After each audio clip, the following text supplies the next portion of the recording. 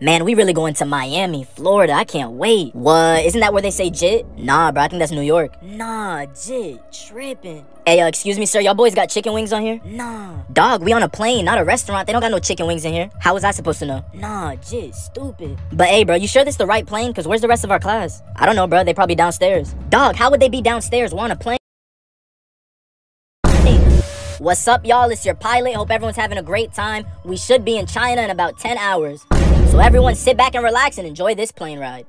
Dog, you said this was the right plane. We're supposed to be going to Florida, not China. How is that my fault? Nah, Jit got us on the wrong plane. We're supposed to be going to Florida, not China. That's crazy.